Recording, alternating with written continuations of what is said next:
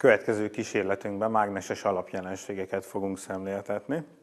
Ehhez a következő eszközöket használjuk fel. Egy egyszerű rúdmágnes, néhány fényből készült kis 10 grammos súly, egy kocsi, ennek a végén egy ütközővel be van téve egy mágnes, vasreszelék, üveglap, és még található itt két nagyobb méretű erős mágnes, amit hangfalból szereltünk ki annó.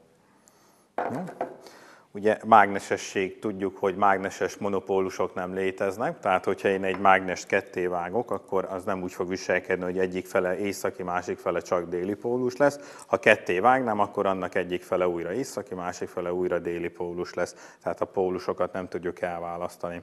Legegyszerűbb jelenség, van egy mágnes, fénytárgyak, és akkor ugye tudjuk, hogy a mágnes a fénytárgyakat azt magához vonzza, fel tudjuk vele emelni. Innenstől maga ez a fémtárgy is, mint maga egy mágnes viselkedik, és az újabb fémtárgyat szintén fel tudjuk vele emelni és vonzani. És akkor már kettő, megnézzük a harmadikkal, hozzáérintjük.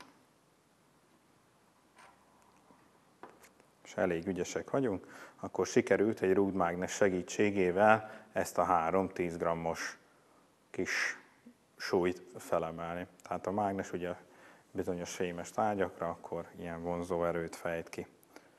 Jó? Következő nagyon egyszerű kísérletünk. Ugye kívülről ezt a két körmágnes nem tudjuk megkülönböztetni, megnézzük, hogy a azonos pólusok és az ellentétes pólusok hogyan viselkednek egymással. Ez egy ilyen nagyon egyszerű segédeszközt fogok használni, ráteszem az egyik körmágnest, ráteszem a másikat, és akkor látjuk, hogy itt a kettő között igen erőteljes vonzás tapasztalható. Felső körmágnest leszedem, megfordítom, elengedem, és akkor nagyon jól látható közte a rés, a hézag, tehát a gravitációs erő ellenében a mágneses taszítás sokkal nagyobb erőt képvisel, és nem engedi leesni ezt a felső körmágnes, tehát látható közte a rés szépen.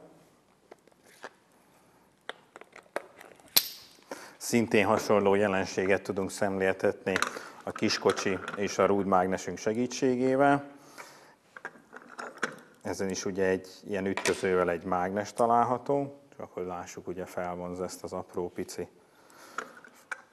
súlyt, és akkor a rúdmágnesünk segítségével mozgásba hozzuk a kis kocsit.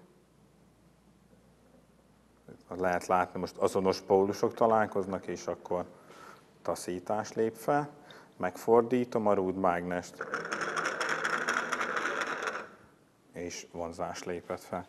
Még egyszer, nagyon egyszerű. Taszítás, vonzás, de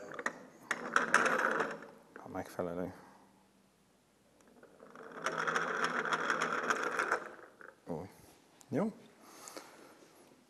Apró, pici, finom vasreszelék, beleteszem a rúdmágnesemet, és lehet látni, hogy akkor szépen vonzza felfel a vasreszeléke, és a vasreszelékek is, mint apró pici mágnesek, vonzzák utána, maguk után a többi vasreszeléket. És akkor így egy szép kis bojtot tudunk létrehozni, amit most lefejtek. És az utolsó nagyon egyszerű szemléltetésünk, ez egy üveglapot veszünk elő, az üveglap alá helyezzük a rúdmágnesünket.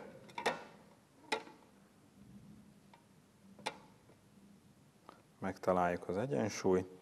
És akkor ebből a vasreszelékből fogok egy picit szórni az üveglapra, és megnézzük, hogy hogyan rendeződik el, és hogyha ügyesek vagyunk, akkor a szabad szemmel nem látható mágneses indukcióvonalakat is sikerül kirajzolnunk. Mintha egy főzőműsorba lennénk szépen.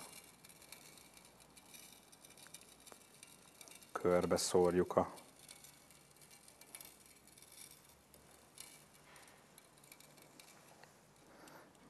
Még egy csipetnyit, egy nyilalásnyit még.